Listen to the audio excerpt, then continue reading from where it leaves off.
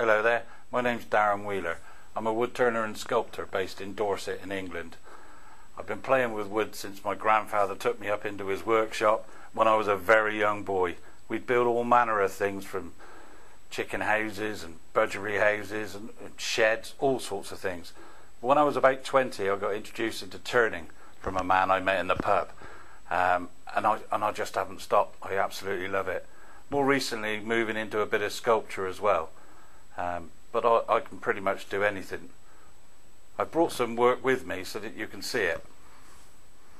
So this is a piece of Dorset walnut that I've turned. As you can see, I've inlaid some brass into what was the natural cracks in the timber. And basically it's meant that I can use this piece of wood instead of just having to chuck it on the fire. I do a lot of different types of bowls and platters, um, ranging from this sort of size right up to an excess of four foot in diameter. It's great fun to do, um, and they look fantastic on your wall instead of a painting. The next piece I've got to, to show you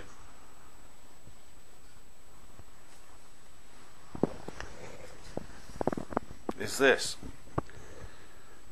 This was turned and carved from a single piece of yew wood, again from yew from Dorset, sorry.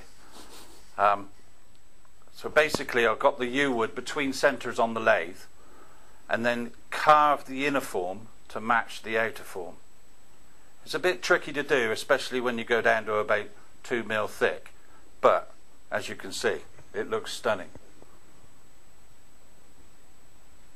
How much would something like that cost if you wanted to buy? Well, this particular one is mid-range, it's about two hundred pound, um, but I start as low as seventy five pound, and then the really big ones are in excess of thousand pound.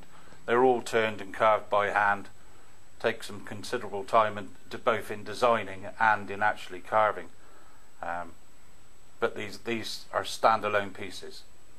Right. And what kind of techniques do you use? Techniques, are, I've wide variety. Some that my grandfather taught me, and some that uh, other professional turners have taught me over the years.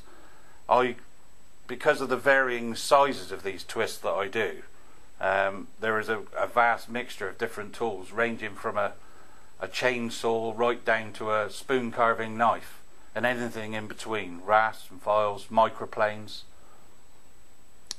Right. So if people wanted to see more about what you do, where's the best place to go?